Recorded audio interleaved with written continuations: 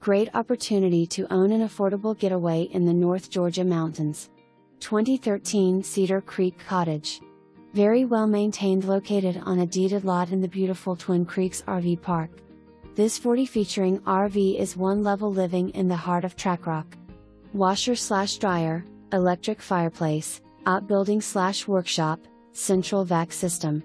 $484 per year HOA fees include water, sewer, trash, and grass mowing. This park is conveniently located close to Brasstown Bald, Vogel Park, and Helton Falls.